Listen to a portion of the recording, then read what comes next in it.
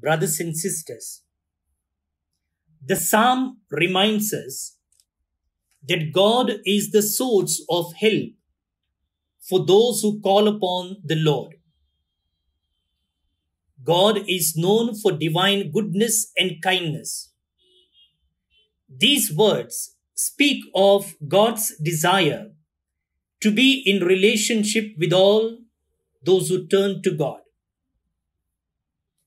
Let's pray that psalm now. Your response His merciful love fills the earth.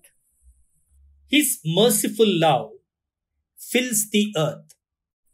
The word of the Lord is faithful, and all his works to be trusted.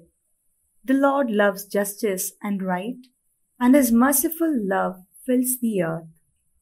His merciful love fills the earth. Yes, the Lord's eyes are on those who fear him, who hope in his merciful love, to rescue their souls from death, to keep them alive in famine. His merciful love fills the earth. Our soul is waiting for the Lord. He is our help and our shield. May your merciful love be upon us as we hope in you, O Lord. His merciful love fills the earth.